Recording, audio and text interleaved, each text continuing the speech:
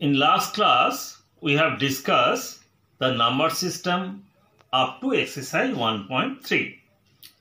Now, in exercise 1.4, there are two questions which is related to the practicals. Means this question can solve by using the hand lens. Without your presence, these questions I cannot explain. So these two questions of exercise 1.4 will be discussed after reopening the school. Next is exercise 1.5. Please open your book of exercise 1.5 and let us solve. Question number 1. Classify the following numbers as rational or irrational. Question number 1, point number 1. 2 minus root 5. You will see 2 is a rational number and root 5 is a irrational number. The difference between the rational and irrational is a irrational number. So this is a irrational number. This is a irrational number.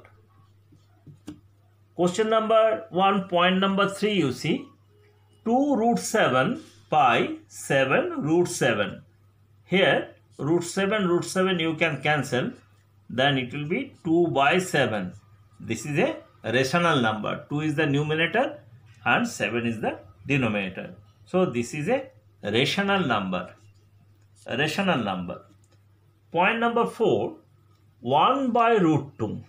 1 is a rational number. 1 is equal to 1 by 1. And root 2 is a irrational number. Division of rational and irrational is a irrational number. So it is a irrational number. Some common rule to be applied.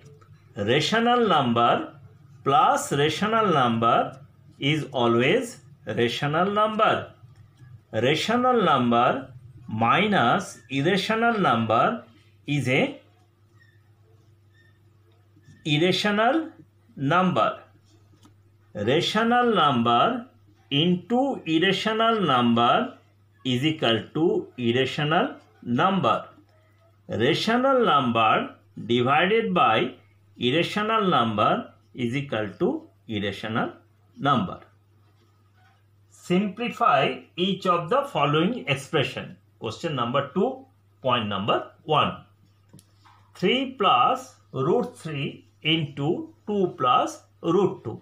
Simplify. First 3 will be multiplied with 2 plus root 2. Then this root 3 again it will be multiplied with 2 plus root 2. 3 will be multiplied with 2 plus root 2. Then again this root 3 will be multiplied with 2 plus root 2. Solve 3 into 2 6 plus 3 into root 2 3 root 2 plus 2 into root 3 2 root 3 plus plus plus root 3 into root 2 root 6 and this is your answer. Question number 5. Rationalize the denominator of the following. Point number 1. 1 by root 7. Here root 7 is a irrational number and which is denominator. You have to convert into the rational number. How will convert? 1 by root 7 should be multiplied whatever the denominator number given same root 7 by root 7 then 1 into root 7 root 7 and root 7 into root 7 root 7 whole square is equal to 7 now one more question you see point number 3 and these questions are generally important question 1 by root 5 plus root 2. How these types of the question can be solved?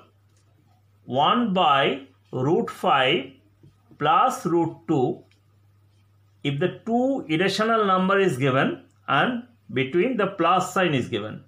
So you should multiply both the irrational number by changing the middle sign plus then it will be minus. If minus then it will be plus. Numerator and denominator it will be multiplied with same number. Then what will come? 1 into root 5 minus root 2 it will be remain same root 5 minus root 2. Now root 5 plus root 2 into root 5 minus root 2. Come to the formula a plus b into a minus b. a plus b into a minus b means a square minus b square. Then it will be a square means root 5 square minus b square means root 2 whole square. Numerator will be remain same root 5 minus root 2 root 5 square 5 root 2 square 2 then it will be root 5 minus root 2 5 minus 2 is equal to 3 and this is your answer.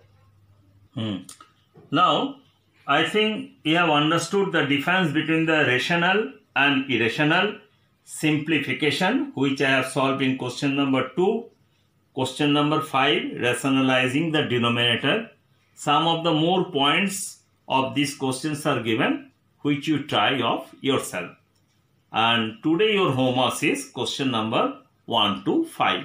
Have a good day. Thank you.